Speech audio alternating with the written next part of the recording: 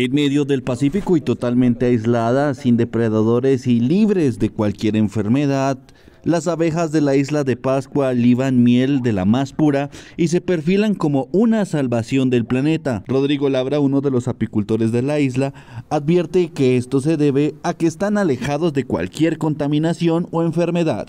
Pero lo principal es que, a diferencia con las abejas en el mundo, estas no tienen enfermedades, ¿ya? no están asociadas a, ningún tipo de enfermedades. ¿ya? Entonces, por ende, no tenemos que estar aplicándole ningún producto químico a la colmena ni a las abejas. Las autoridades se han esforzado para llevar a cabo campañas en los niños para que aprendan a respetar a las abejas. Así lo señaló Diana Edmunds, presidenta de la Asociación de Apicultores de Pascua. Hace unos años atrás, el agricultor quemaba este tipo de colmenas. Ah, hoy día ya eso ha disminuido. Entonces nos dimos cuenta que si uno le habla a un adulto, el adulto no entiende, porque él ve que eh, necesita trabajar y la abeja le molesta.